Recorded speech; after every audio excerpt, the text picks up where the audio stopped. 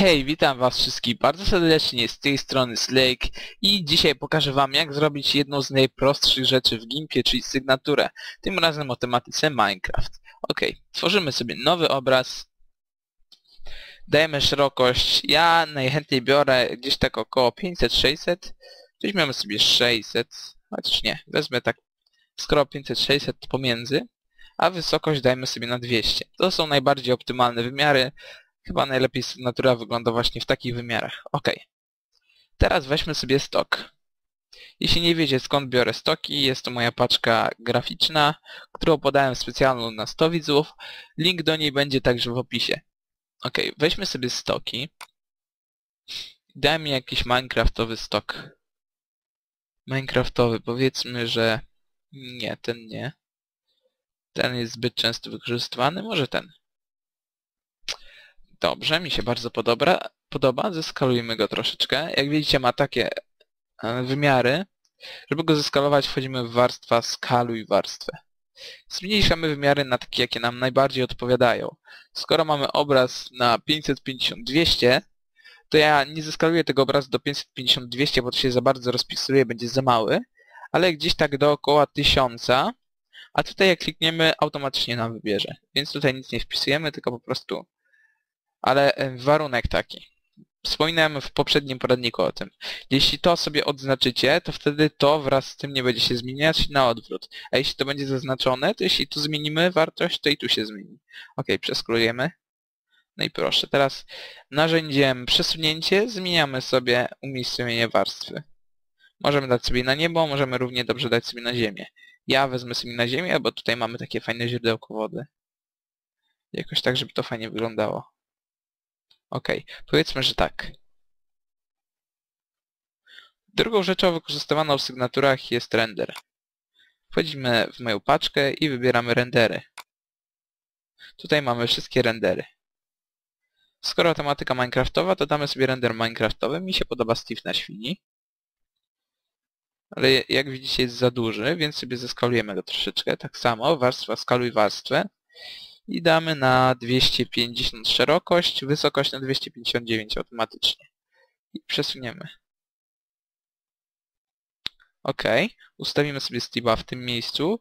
Skasujemy logo twórcy. Wymarzymy gumką, narzędzia gumka. Wymarzymy logo twórcy rendera. Ponieważ jak wiecie, każdy się reklamuje. I ustawmy sobie... A, mogliście słyszeć teraz mój zegarek. Pika co godzinę. Możemy dać jeszcze drugi render, tego chickena takiego fajnego. I dam go tutaj. Ale troszeczkę nienaturalne jest to, że jest większy od świni, więc damy sobie na szerokość 100, a wysokość 110. Ok, podoba mi się to. Teraz kliknijmy na wyższy render i połączmy w dół. Będziemy mieli dwa połączone rendery jako jeden. Postawmy sobie jeszcze raz jak chcemy. Ok, prawie gotowe. Teraz dodajmy takiego ładnego efektu rozmycia za postacią. W tym celu duplikujemy warstwę, klikamy na niższą, klikamy na dopasuj wymiary warstwy do obrazu, prawym przyciskiem myszy i dopasuj wymiary warstwy do obrazu. Następnie używamy filtry, rozmycie, rozmycie Gaussa. Rozmyjmy na 25, chociaż nie 30, niech już będzie taka pełna dziesiętna liczba. I mamy takie efektowe na rozmysie. Jeśli chcemy je wzmocnić, duplikujemy warstwę rozmytą. Ile chcemy razy. Im więcej razy zduplikujemy, tym mocniejsze będzie to rozmycie, bardziej widoczne. Ja zduplikuję sobie dwa razy i teraz połączę ją z górnym renderem. Teraz połączę, połączę rozmyty render połączył się z tym nierozmytym. Mamy taki efekt. Dodajmy teraz napis, używamy narzędzia, tekst. Wpisujemy nasz nick. Ja wpiszę Slake i użyj mojej ulubionej czcionki. Proszę bardzo, Internet Explorer mi świdruje z. Użyjmy, użyjmy mojej ulubionej czcionki. Ja wybrałem czcionkę Trajan Pro. Jak wy chcecie, możecie użyć innej oczywiście. To zależy tylko od was. Dam na wyżej, może damy wszystko z dłużej. Aha, aha. W ten sposób. Mogę też użyć drugiej czcionki, czyli Triumph Pro Bold, czyli pogrubionej. Dam sobie napis na biało. Wy też tak zróbcie, jeśli chcecie takiego efektu jak ja. Zmniejszymy go odrobinę, czyli zmniejszamy rozmiar. Ja zmienię sobie na 35. ustawię go w odpowiednim miejscu i mogę zmniejszyć krycie. Możecie też zrobić taki efekt, że w tle będzie taki jakby cień tego napisu. W tym celu duplikujemy warstwę, klikamy na tą niższą, prawym przyciskiem myszy narzędzie tekstowe i po prostu zwiększamy rozmiar tej większej. Ona w tej chwili jest za tym naszym napisem, ta duża jest za tym małym, ten mały jest z przodu.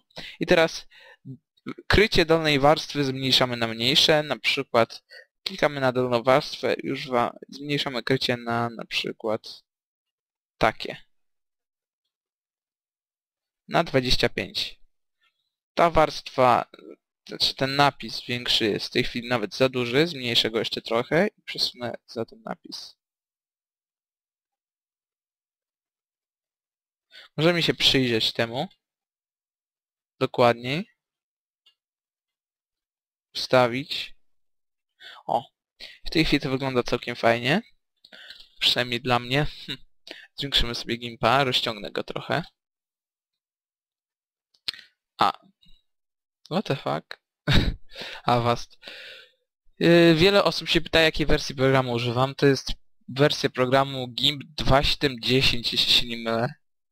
2.7.10 bardzo mi się dobrze z nią pracuje, dużo lepiej niż z Gimpem 2.8, czyli tym najnowszym. Ok, dodajmy teraz następny napis. Także klikamy narzędzie tekst. Tworzymy nowy napis. To będzie taki jakby tytuł pod nim. Hmm, ja na moim kanale, mój kanał nazywa się Steak Witaj w moim świecie, więc dam Witaj w moim świecie.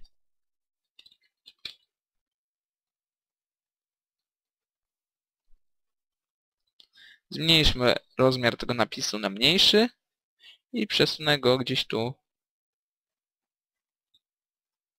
w ten sposób. Weźmy narzędzie tekstowe, zmieńmy to na biało i zmieńmy czcionkę na Tryon Pro normalną.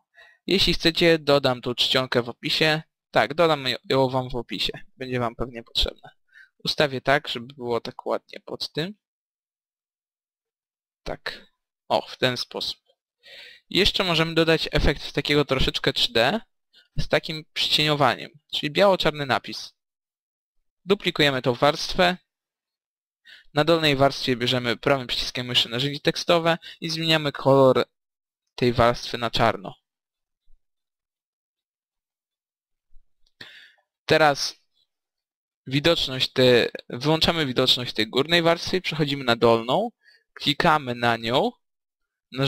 Musimy mieć wybrane narzędzie przesunięcie i klikamy na tą warstwę, a następnie strzałkami klawiatury, klawiszami kierunkowymi, tak to się chyba fachowo nazywa, klikamy raz w prawo, raz w dół. Wtedy przesunie nam nasz napis o jeden piksel w prawo i jeden w dół. Teraz przywracamy widoczność tej warstwy i mamy taki efekt.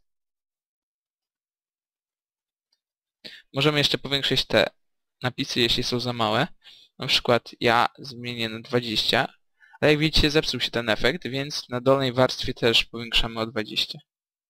I ten efekt wróci. Mamy efekt. Łączymy warstwy w dół. I mam ten napis. Damy go może tu. O, witaj w moim świecie. Te połączymy także w dół i przesuniemy tu. OK. I mamy naszą sygnaturę. Możemy jeszcze dodać ramkę.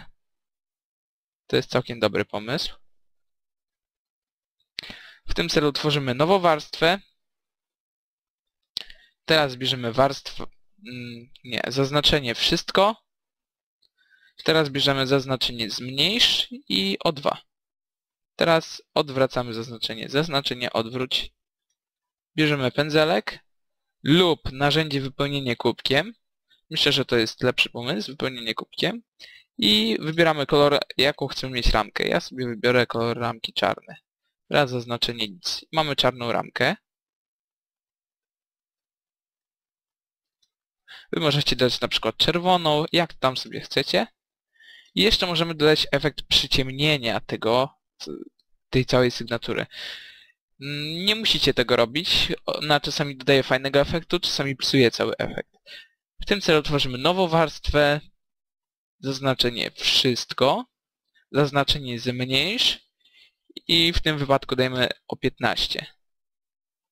Albo nie, poczekajcie. Zaznaczenie cofamy, edycja cofnij i teraz bierzemy zaznaczenie zmniejsz o 20. 20. Teraz zaznaczenie odwróć i wypełniamy je na czarno, jeśli chcemy przyciemnienie całej sygnatury, albo na biało, jeśli chcemy rozjaśnienie sygnatury.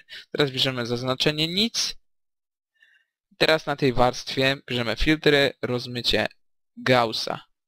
Patrzymy tutaj na podglądzie, musimy mieć zaznaczony podgląd ptaszkiem tym. Typ rozmycia wybieramy I i R. Jeśli nam takie rozmycie nie pasuje, zwiększamy. U mnie rozmycie najlepiej wygląda 75. Dajmy OK. Mamy taki efekt przyciemnienia.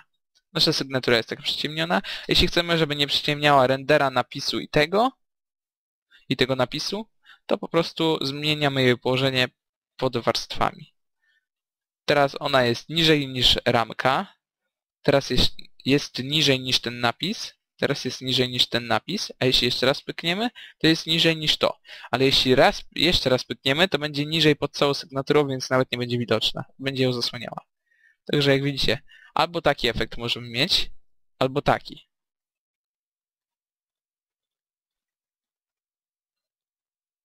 Jeśli to przyciemnienie jest za mocne, możemy po prostu zmniejszyć jego krycie. To jest naj, najłatwiejsze, najlepsze chyba rozwiązanie. Teraz sprawdźmy jak to wygląda. Jeszcze zmniejszmy troszeczkę przyciemnienie. U mnie to wyszło na 40 równe. I mamy naszą sygnaturę. Nasza sygnatura wygląda w ten sposób.